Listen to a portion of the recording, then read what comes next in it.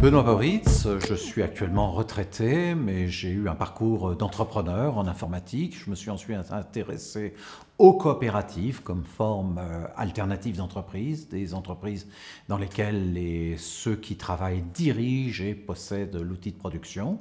Et depuis ces dernières années, je me suis intéressé à généraliser ce modèle, à travailler euh, sur la macroéconomie, envisager une macroéconomie coopérative pour euh, envisager, je une transformation de la société euh, qui devient, à mon sens, de plus en plus urgente vis-à-vis -vis des enjeux écologiques que nous affrontons. J'ai assisté à partir des années 2010 à une vague de mouvements sociaux dans lesquels les salariés souhaitaient reprendre leur entreprise en coopérative plutôt que de l'avoir fermée. Et ça, ça m'avait vraiment interpellé en me disant, tiens, c'est une démarche vraiment originale. Pendant des années, on parlait euh, d'appropriation sociale. Or, en général, la gauche, quand elle parle d'appropriation sociale, on parle surtout euh, de l'État, d'une propriété commune des moyens de production, avec euh, des salariés qui sont salariés de l'État. Là, on avait cette fois-ci une autre approche dans laquelle on voyait des euh, travailleurs qui souhaitaient contrôler leur outil de production et devenir en quelque sorte maître à bord. Ça, j'avais trouvé ça très original et sympathique. C'est ce qui m'a amené à étudier les coopératives. J'ai participé à une coopérative à un moment donné, euh, bien évidemment, mais en même temps, j'ai surtout passé du temps à les étudier, à les rencontrer. Euh, je me suis notamment intéressé, par exemple, à la reprise euh, des, des, des Fralib, une entreprise près de Marseille de thé et d'infusion qui est devenue euh, la Scopti, je me suis intéressé aux glaces euh, La Belle Haute qui faisait suite à Pilpa, mais je me suis intéressé à bien d'autres entreprises encore, notamment dans le domaine de la technologie, par exemple, dans la région de Grenoble, ou encore une euh, entreprise Fontanille de dentelle élastique dans la région du Puy. Donc j'ai aussi suivi le conflit des six France qui s'est pas si, si bien terminé, mais voilà, donc cette variété m'a passionné. J'ai écrit différents essais sur le sujet. Mon premier a été Coopérative contre capitalisme en 2015. Euh, J'ai ensuite fait un livre spécialement dédié sur les coopératives, Travailler autrement, les coopératives.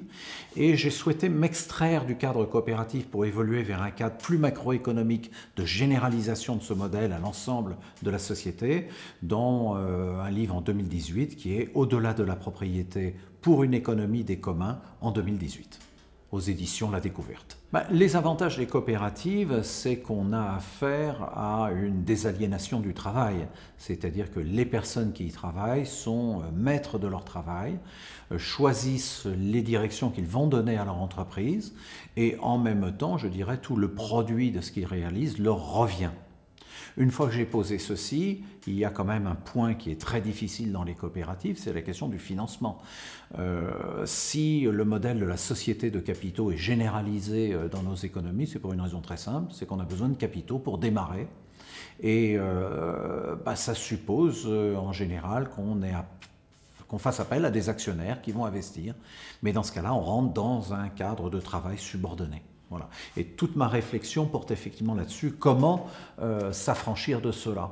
Alors euh, aujourd'hui, je dirais qu'il y a euh, deux pistes. Une première piste que j'avais développée dans Au-delà de la propriété pour une économie des communs, qui est une piste de socialisation de l'investissement, dans lequel un système socialisé d'investissement, je dis bien socialisé pas forcément étatisé, offrirait des lignes de crédit sur des enveloppes dédiées, par exemple à la transition écologique, sur la mobilité et autres, à différentes entreprises pour se financer, euh, qui éviterait de diminuer l'appel à des capitaux euh, privés. Une autre piste me paraît aujourd'hui intéressante, que j'avais amorcée dans ce livre, c'est celle d'une socialisation des revenus qui porterait y compris sur l'investissement. C'est l'idée de dire que toute personne qui démarre une activité entrepreneuriale doit se voir reconnaître une partie de son revenu de façon à diminuer ses besoins en capitaux. C'est très clairement une piste hein, qui est déjà utilisée par les coopératives. Je connais beaucoup de coopératives qui font appel à du financement participatif pour effectivement desserrer les taux. Euh, c'est aussi quelque chose qui est mis en œuvre régulièrement par, euh, au niveau de la Confédération générale des scopes en France, euh, avec différents outils participatifs. Par contre, je ne pense pas que ce soit quelque chose qui puisse être systématisé à l'infini. On reste quand même dans la finance privée, et donc ce sont des individus qui décident d'investir là plutôt qu'ailleurs, c'est une décision individuelle. Je crois beaucoup plus à des mesures macroéconomiques, de fonds socialisés d'investissement, euh, enfin des mesures politiques, hein, euh, notamment de socialisation des revenus de façon à diminuer les besoins en capitaux lorsqu'une entreprise démarre. Oui, je pense plus à un fonds socialisé qui travaillerait de concert avec la Banque centrale ou une banque centrale qui euh, commencerait à intégrer des notions de création monétaire en fonction de budgets prédéfinis avec des taux d'intérêt Je pense plutôt à ça. Et de même, je réinsiste aussi sur le deuxième aspect des choses. Je pense que l'aspect socialisation du revenu est quelque chose d'important dans cette décapitalisation de l'économie. C'est l'idée de dire que le simple fait que je sois travailleur dans cette économie me donne droit à un revenu et je dirais que je vais compléter ce revenu par une intervention sur le marché. Lorsqu'une entreprise démarre, il faut comprendre qu'on a besoin de capitaux pour justement payer les gens qui travaillent. Là, une partie de ce revenu est déjà déterminée par cette mutualisation des revenus. Donc on va décapitaliser l'économie. Les coopératives progressent en France beaucoup plus vite que euh, le reste de l'économie.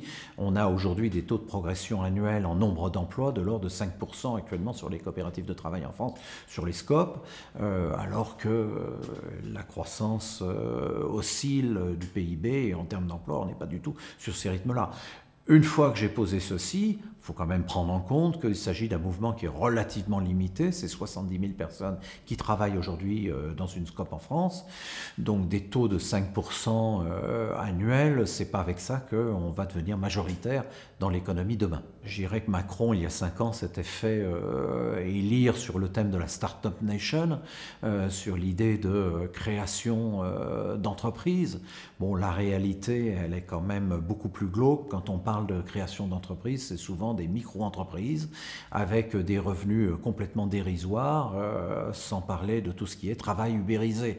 Euh, je crois qu'aujourd'hui, la vraie question qui est posée euh, économique, c'est la question de la démocratisation de l'entrepreneuriat, c'est-à-dire permettre à toutes les personnes qui souhaitent entreprendre, que ce soit à titre individuel ou que ce soit à titre collectif en coopérative, de pouvoir le faire sans être dépendant euh, de capitaux excessifs.